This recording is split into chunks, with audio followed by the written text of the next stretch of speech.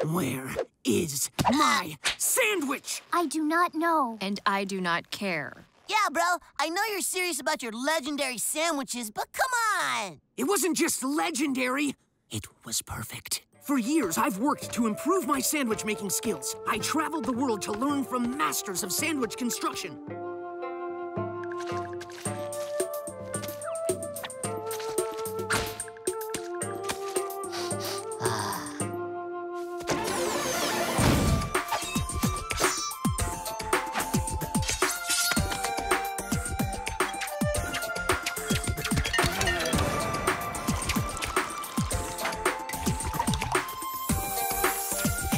But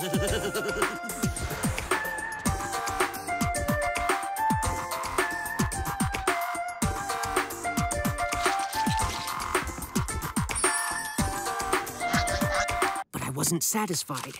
Every bite I took was haunted by the knowledge that I could do better. Until one night, it came to me the perfect sandwich. After three days of work in the lab, I had it. Perfection on two slices of bread, which were also perfect. All that was left was to crisp it in the refrigerator. However, when I returned, it was gone. Well, that's the longest story about making a sandwich I ever had to sit through. Nobody's leaving this room until I get to the bottom of this. Uh, bye. We're out. Do not worry, Robin. I am sure you will find your missing lunch meal.